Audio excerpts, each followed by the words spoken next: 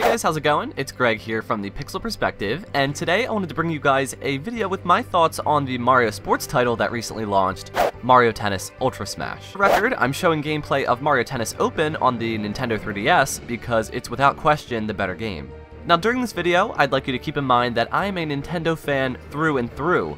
However, I need to put an objective opinion out there, so that's what I'm here to do today. Mario Tennis's Wii U release looks gorgeous, but that's about it. The amount of content available in the game is staggeringly low, and there really is no excuse for that. As a result, the game feels totally uninspired when stacked up against its predecessors. First, let's talk about the lack of court variety. In Mario Tennis Ultra Smash, you're limited to literally only one standard looking stadium with texture swaps on the actual court available as different options. So, instead of the normal green, you can play on a blue court. Whoa. I gotta say, this takes a lot of life out of something that makes the Mario sports titles so whimsical and fun. The reason this baffles me though is that in Mario Tennis Open, which was clearly developed on a handheld system, although it's far less powerful than a home console, still had the full variety in court selection. I mean, Mushroom Valley, Wario Dunes, Peach's Palace, Bowser's Castle, Penguin Iceberg, and even a Mario Galaxy inspired court.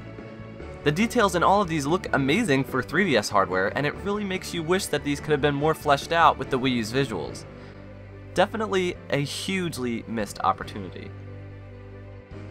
I mean, after all, these really are what bring the title to life. They really make the game feel Mario-esque. Speaking of which, this is Mario Tennis, not some real-life tennis simulator. Where are all the goofy minigames? To me, that Mega Ball Rally thing doesn't count, and the Knockout mode, which is really similar to Tournament mode, definitely doesn't count. Again, Mario Tennis on the 3DS has several really quirky minigames. Here we have new takes on the classics, like Ring Shot and Ink Showdown. Ring Shot plays essentially the same as its predecessors, and Ink Showdown the same as its N64 counterpart, Piranha Challenge. However, Galaxy Rally proves to be quite tricky, having the player work with a Luma to collect launch star pieces, all the while avoiding the holes created by the disappearing green tiles.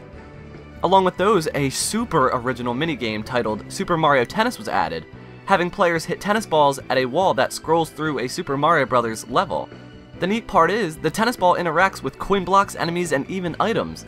All of these are really great little modes that help break up the gameplay, and like the courts, are totally absent from the Wii U's entry. Along with those, the 3DS rendition even features customizable Mii characters, where you can fit your Mii in the Mushroom Kingdom's finest attire, which not only affects your stats, but makes your Mii feel all the more unique. I thought that this was a actually really nice addition, and gave the players something to collect throughout their tennis playing journey.